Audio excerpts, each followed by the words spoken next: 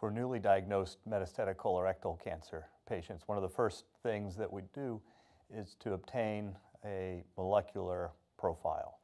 And this, at a minimum, includes a KRAS NRAS, which we'll uh, use the term RAS uh, to lump together, BRAF, HER2, uh, looking for amplifications, and an MSI status. And there's a number of ways that that can be done, including immunohistochemistry, PCR, or next generation sequencing.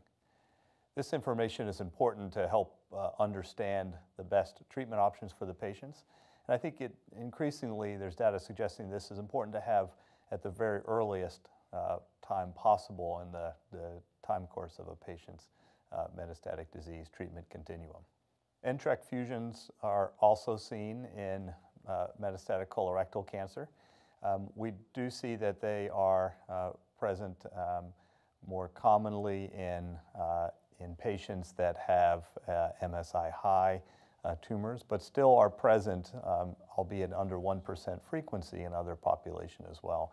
So that's something that is uh, performed typically as part of the initial biomarker assessment. Although this commonly uh, is um, done with uh, different assays in some settings, and it's one that we would uh, encourage but uh, if there's tissue available. And I'd certainly prioritize the uh, NRAS, KRAS, BRAF, HER2 amplification, and MSI assessment above uh, fusion testing. So we know that there are certain biomarkers that we already know that is actionable, uh, such as the KRAS, the NRAS, the BRAF, the TRK fusion. However, there are other predictive biomarkers that's, that's slowly emerging.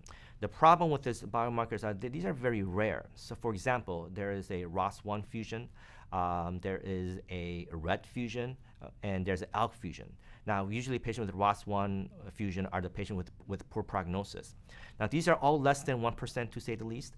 However, uh, studies have shown that if you do have this fusion, uh, that there are drugs able to target those, especially the RET fusion. We know there's a blue 67 compound, and there's lots of compound that's currently out there that's been currently being used for thyroid and lung cancer. And the incidence of RET fusion in colon cancer is, you know, is less than 1%. However, if you find that in your molecular profiling, you will be able to possibly get the drug on a trial off label, and the response rate seems to be very, very high. Other predictive marker that we are sort of looking at at this moment um, is a um, is POLE polysomatic mutations. Uh, these are the patients that are microsatellite stable, uh, but tends to have high tumor burden. And this happens, this somatic mutation occurs mostly in young patients. And that's one of the biomarkers that's, that's evolving for possible uh, response to checkpoint inhibitors. So that's something that's on the future, that's ongoing right now. And other things is a BRCA mutation. Usually a BRCA mutation in colon cancer is associated with, with BRCA1. But now we have PARP inhibitors that is currently now approved as a maintenance therapy in pancreatic cancer.